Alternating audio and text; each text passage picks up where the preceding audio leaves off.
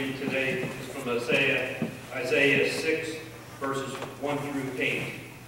In the year that King Uzziah died, I saw the Lord seated on the throne, high and exalted, and the train of the robe filled the temple. Above him were seraphim.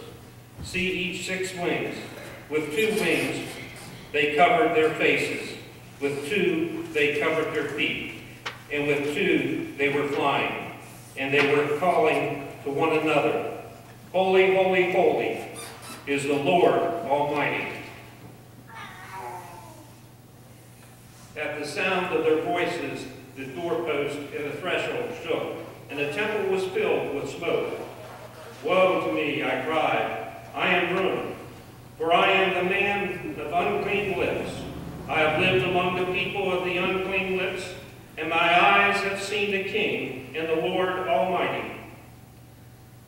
Then one of the seraphim flew to me with a live coal in his hand, which he had taken with tongs from the altar. With it he touched my mouth and said, See, this has touched your lips. Your guilt is taken away, and your sin atoned for. Then I heard the voice of the Lord saying, whom shall I send? And who will go for us? And I said, here I am, send me. This ends in the reading.